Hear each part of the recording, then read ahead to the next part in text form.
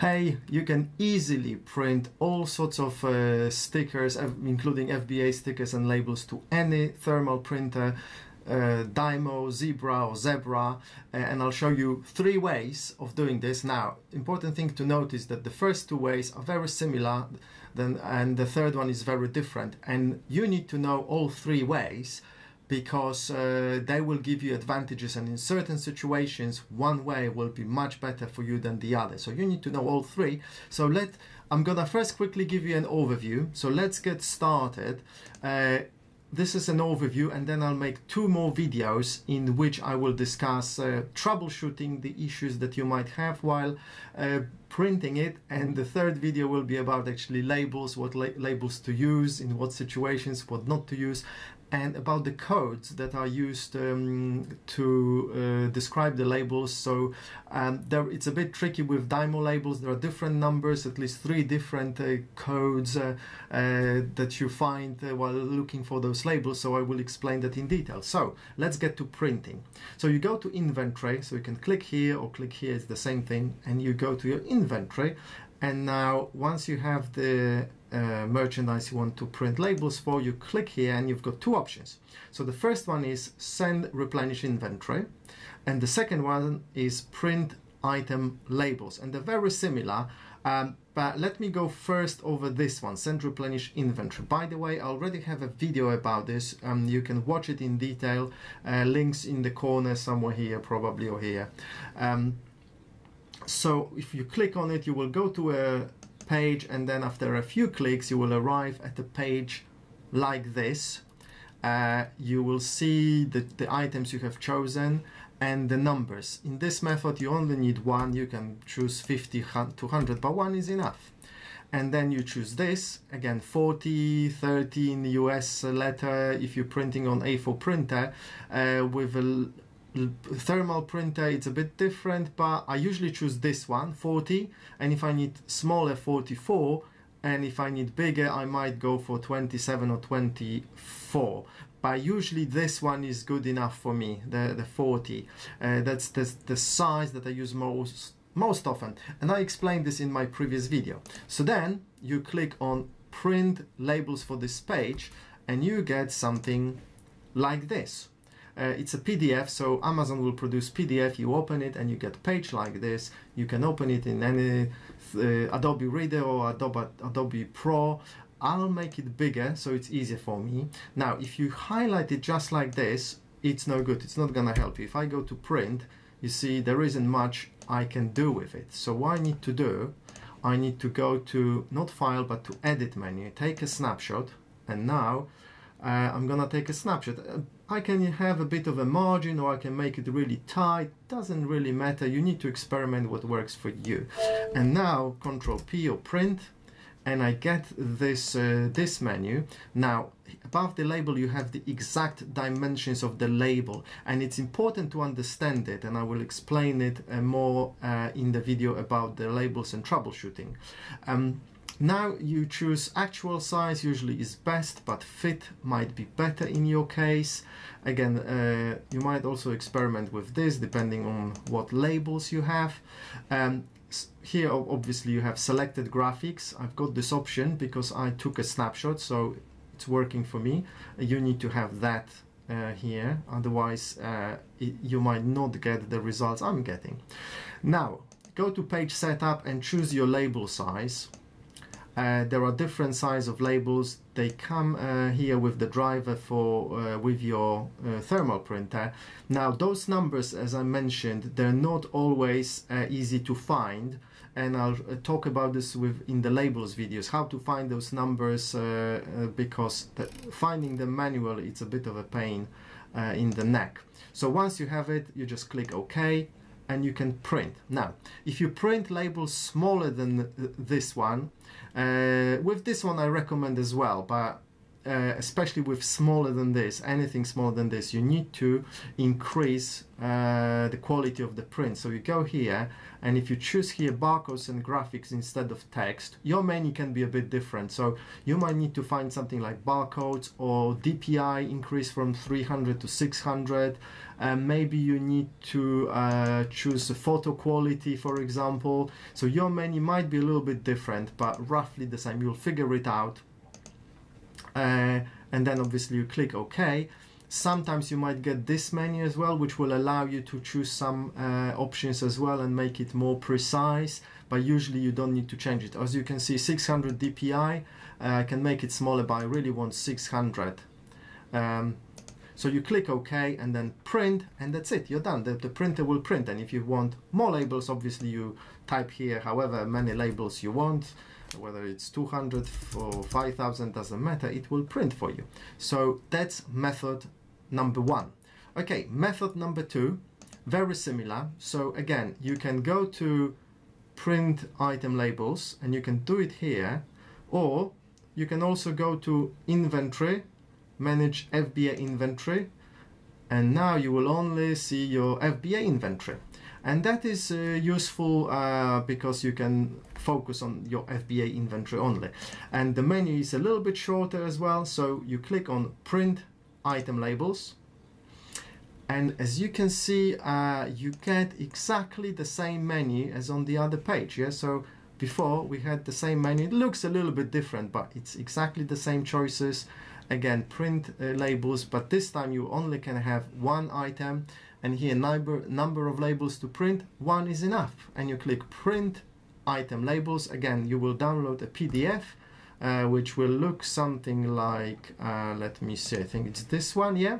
And same exactly the same thing as before. Make it bigger. Make sure that you choose take a snapshot highlight what you want control P and here we go same process Okay, so now let's go to method number three. Method number three is now different. It's got some advantages and disadvantages. So let me talk about this.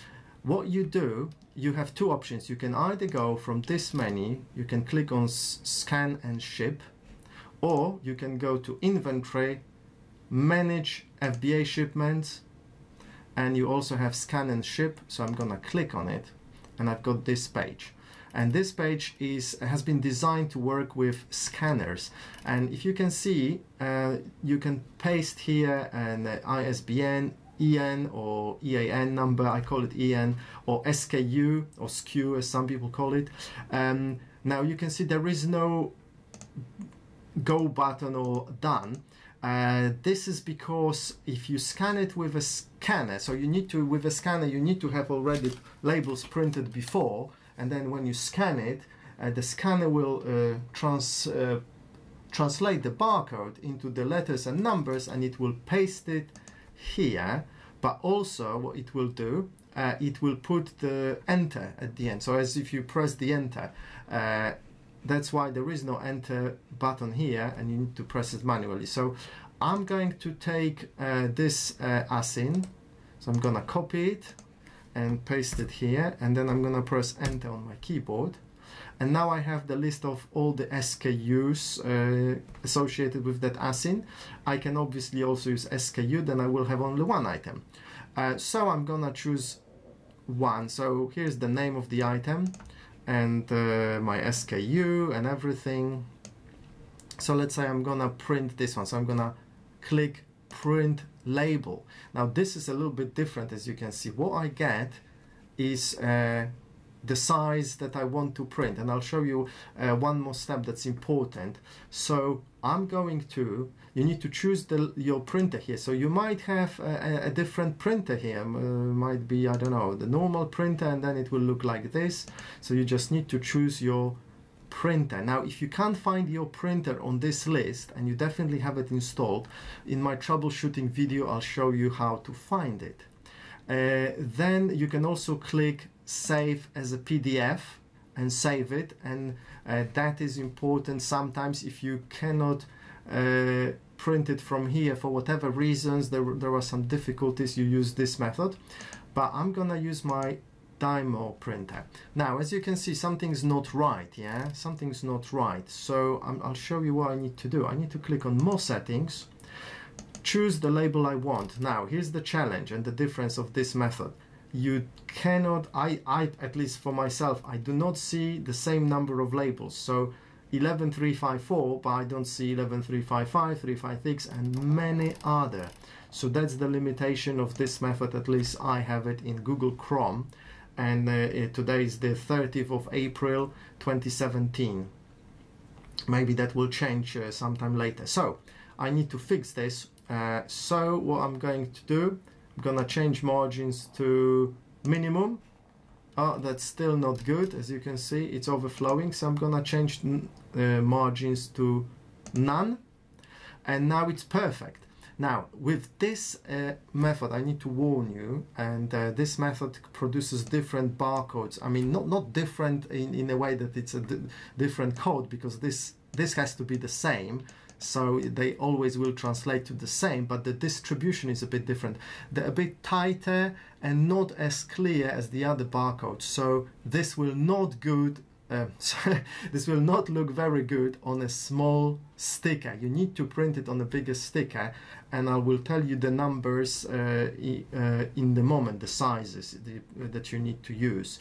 Um, now the, this, the difference between this method and the previous one is that you get the full name of the item here. So if that was like a long name, you would have have all the name here four five six lines however long it is, it, it is it would be here you could read the whole name. Sometimes the, it's something that you want sometimes not. So if you need uh, to have the full name here this is the way forward use this method. Okay and then obviously you just print a number of copies however many you want and that's it. Now important thing to notice here is that you can click on printer settings and you will get this window. Now, the dimensions needs to be between 25 and 100 millimeters. Um, I don't know what it says in the US, but this is at least what it says here in, in Europe, and uh, I'm in the UK. And, and here you put dimensions. Now, I recommend that the uh, smallest width dimension you use is 57 millimeters. If you have labels smaller than this, don't use this method because the barcode might not be readable unless you have a printer the, that prints like really really high quality print then then it's okay. But with my Dymo it just manages this at 57 just if it's anything smaller it will not look uh, good. It will not probably will not scan very well and you don't want that because those guys in Amazon warehouse will struggle with it.